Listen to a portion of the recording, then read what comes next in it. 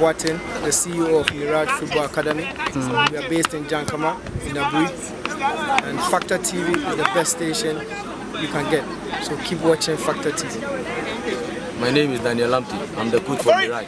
FACTA TV, the best.